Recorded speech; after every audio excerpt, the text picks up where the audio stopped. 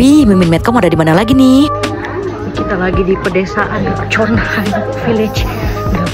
Sebelum masuk ke gangnya, kita bakal ketemu toko souvenir kayak gini nih, menjual banyak banget souvenir yang ya lucu-lucu juga buat properti foto bisa sih.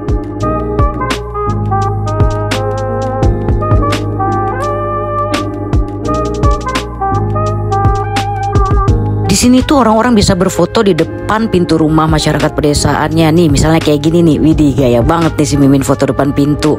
Tapi ingat kita nggak boleh masuk ya dan harus jaga ketenangan. Jadi di sini tuh desa yang bersih banget dan tenang banget. Wisatawan yang datang itu tidak diperbolehkan berisik. Artinya kita harus tenang, jaga ton suara kita biar nggak tinggi karena memang di sini mereka suka banget ketenangan. Dan biasanya akan ada nanti yang ngingetin bawa poster gitu be quiet please karena biasanya lansia-lansia itu muter nanti akan ngingetin ke wisatawan-wisatawan. Jadi ingat ikutin aturan yang ada di tempat wisata ya, jangan sampai berisik dan heboh sendiri.